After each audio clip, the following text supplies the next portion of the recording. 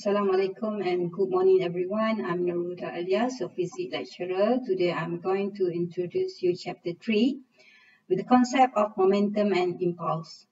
Before we start, let's go through the overview of this chapter.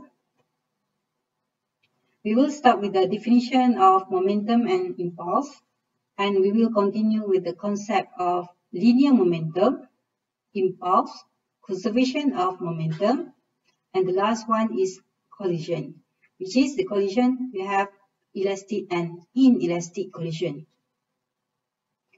Before we start our class, let's take a look to the learning outcome for this subtopic 3.1, momentum and impulse. At the end of this chapter, students should be able to define momentum and impulse, solve problems related to impulse and impulse momentum theorem given by J equal to delta P equal to MV minus MV initial. And use FT graph to determine impulse. Now we will learn subtopic 3.1.1 linear momentum. What is momentum? Momentum is defined as the product between mass and velocity, which is given by the equation P equal to mv, where the P is momentum m is mass and v is velocity. Momentum is a vector quantity that has a magnitude mv and the direction the same as the direction of the velocity vector v. And the SI unit for momentum is kilogram meter per second. There are a few examples show that the momentum has magnitude and direction. Number one, we have a momentum of car driving north at 20 meter per second is different from the momentum of the car of the same car driving east at the same speed. This is because the direction affects the momentum.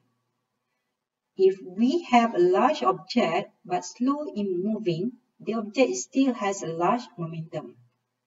This is because when the mass is greater, the momentum is also greater and vice versa.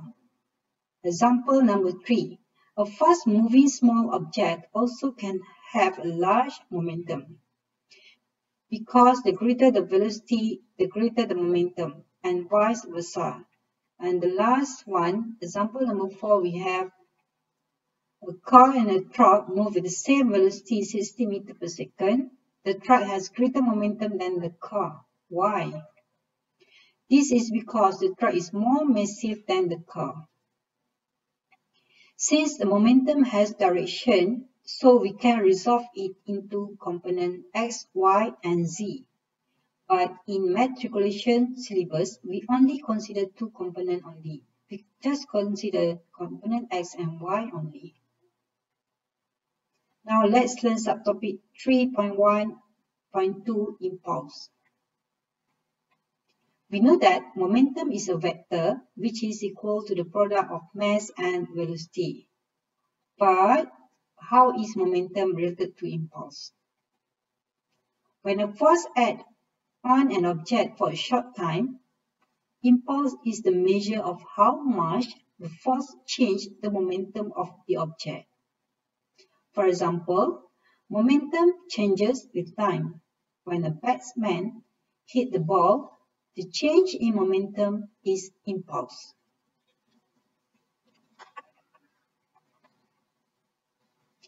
What is impulse? Impulse is defined as the product of a force F and the time t and given by the equation J equal to Ft. But J is impulse, force is impulse, F is impulsive force, and t is the time interval. Impulse is a vector quantity whose direction is the same as the constant force on the object. And the SI unit of impulse is Newton second or kilogram meter per second. And if the force acted on the object is not constant, we integrate the Newton second law over time between the limit T1 and T2. So we can define an average net force such that even when the total force is not constant, the average force is also known as the average impulsive force. We can take a look at some example of impulse in everyday life. And the common example is the car airbag system. Airbags are in car in order to reduce the damage to a driver or passenger during a collision. What is airbag does? It increases the time required to stop the momentum of the passenger of, or driver. From equation F equal to J over dt, when the time is longer, the force of impact will decrease. This may reduce severe damage to the passenger. Impulse is also ever present in sport. For example, in golf, baseball, and tennis ball, the faster you swing at the ball, the greater the impulse you impact on the ball. This is because if t is smaller, f becomes greater then the ball will go faster and further away. In football, when the ball is kicked, impulse can help determine the force of the kick if we know the contact time between the foot and the ball. In tennis, whenever a ball is hit back and forth, there is impulse between ball and tennis racket. Now let's continue with subtopic 3.1.3 Impulse Momentum Theorem. Consider a single force F act on an object in the short time interval. The total F act on an object is equal to the rate of change of momentum where the value is constant. Therefore, impulse is given by J equal to F dt equal to dp equal to P2 minus P1 where P2 is final momentum, P1 is the initial momentum, and the force is impulsive force. Impulse momentum theorem states that the impulse of a body equal to the change of the body momentum. Since the impulse is a vector quantity, so we can resolve it into x, y, and z component. But in matriculation syllabus, we just only consider two-dimensional collision only. We also can use FT graph to determine impulse. From the graph, the shaded area under the graph is equal to impulse. Here are some exercises related to this subtopic. Hope you can do this exercise to make you understand more about this topic. Now we move to subtopic 3.2 Conservation of Linear Momentum. Let's take a look to the learning outcome for this subtopic.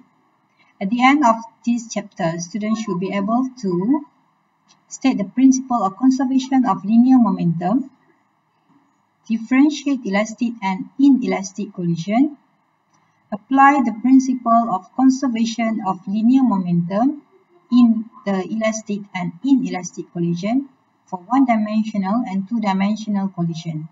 However, in this lecture, we only discuss the principle of conservation of linear momentum and collision.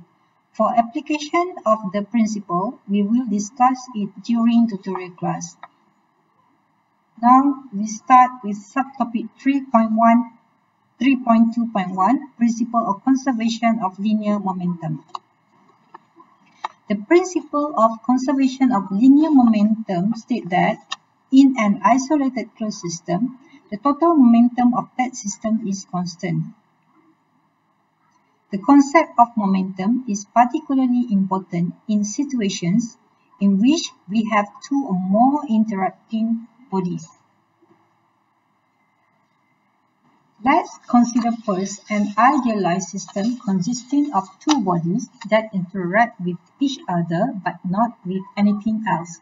For example, two astronauts touch each other as they float freely in the zero gravity environment of outer space. think of the astronaut as particles. Each particle exerts a force on each other. According to Newton's third law, the two forces are always equal in magnitude and opposite in direction. And there are no external forces. When this is the case, we have an isolated system or closed system. Since these two forces of the body are always equal in magnitude and opposite in direction, and there are no external forces, we consider it as a closed system so that the total force is equal to zero. Since the rate of change of two momenta are equal and opposite, therefore the rate of change of momentum are equal to zero. The impulses that act on the particle are also equal and opposite in direction, therefore the change in momentum is equal to zero. And same goes to the change in momentum of the two particles which are equal and opposite direction. So we get P2 minus P1 equal to 0. Hence, the total momentum of the system is constant, where P1 equal to P2 equal to constant. Even though the individual momenta of the particles that make up the system can change, but the total momentum is still constant. So we can write it as sum of initial momentum is equal to the sum of final momentum. These are the, the exercises related to this, to this subtopic. Hope you can do these exercises to make you understand more about this subtopic.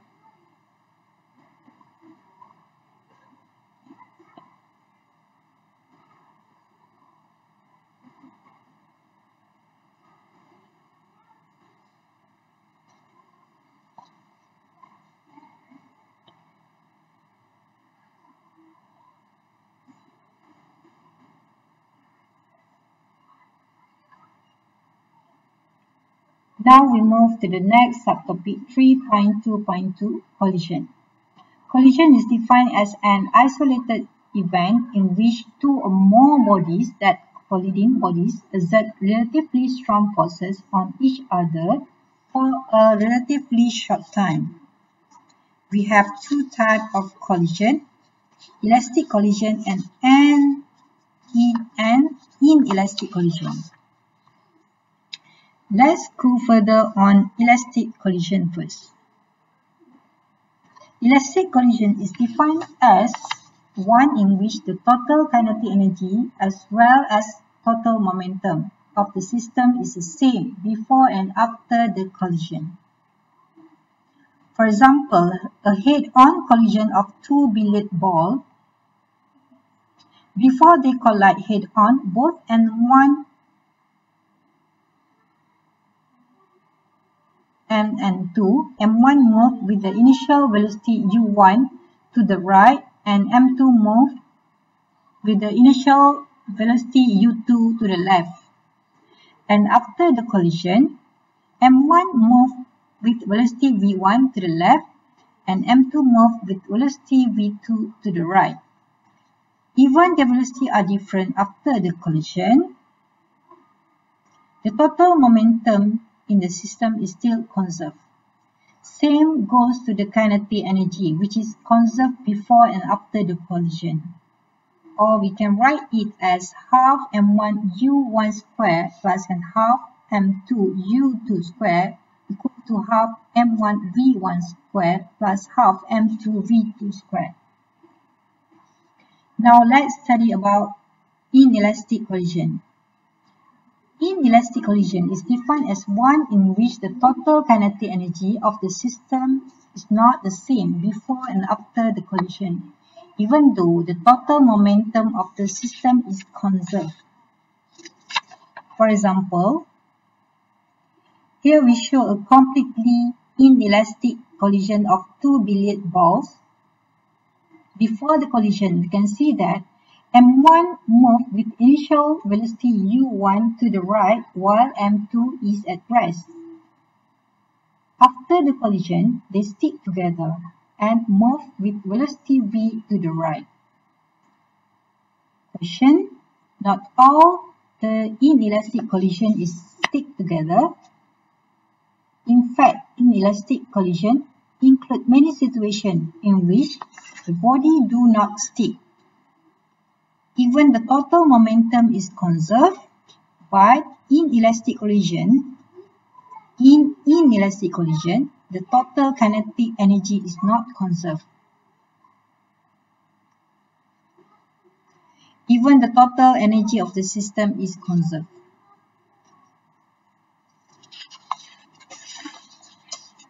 Let's study case 1 and case 2 for elastic and inelastic collision. In case 1, we can see at first the 1000 kilogram car moved with velocity 20 meter per second to the right, while the 3000 kilogram truck is at rest. We can calculate the momentum of them by formula mass times velocity mv. Momentum of the car is 20,000 kilogram meter per second and momentum of the truck is zero because it's at rest. So the total momentum before the collision is 20,000 kilogram meter per second.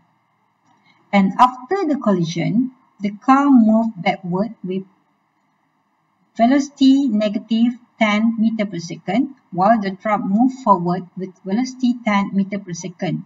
We can calculate the momentum of the car, which is negative 10,000 kilogram meter per second, and the momentum of the truck is 30,000 kilogram meter per second. So, the total momentum after the collision is 20,000 kilogram meter per second.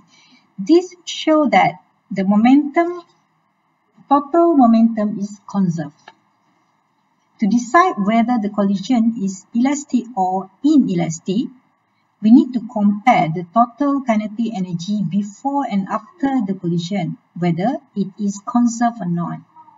By using kinetic energy equation, K equal to half mv square, the kinetic of energy of the car before the collision is 200,000 joule and the kinetic of the truck is zero because the truck is at rest. Therefore, the total kinetic energy before the collision is 200,000 joule. After the collision, the kinetic energy of the car is 50,000 joule, while the kinetic energy of the truck is 150,000 joule. Therefore, the total kinetic energy after the collision is 200,000 joule. Since the total kinetic energy before and after the collision is conserved, this means that the collision is elastic collision. In case 2, we can see that before the collision, the 3000 kilogram truck moved to the right with the velocity 20 meter per second, while the 1000 kilogram car is at rest. The total momentum before the collision is 60,000 kilogram meter per second. After the collision, the truck and the car are stick together and move to the right with velocity 15 meter per second. We can calculate the momentum of the truck is 45,000 kilogram meter per second and the momentum of the car is 15,000 kilogram meter per second. And the value of the total final momentum is 60,000 kilogram meter per second, same as the before the collision. This show that the total momentum before and after the collision is conserved. Now, let's decide the type of collision, whether it is elastic or inelastic collision. Before the collision, the kinetic energy of the truck is 600,000 joule and the kinetic energy of the car is zero because the car is at rest. Therefore, the total kinetic energy for both are 600,000 joule. After the collision, the total kinetic energy of the car and truck are 450,000 joules. Since the total kinetic energy before and after the collision are not equal, this means that the collision is inelastic collision.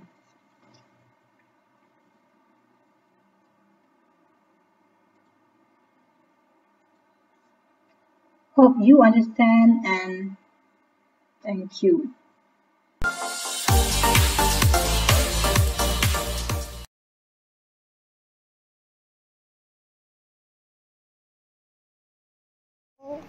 Thank you for watching.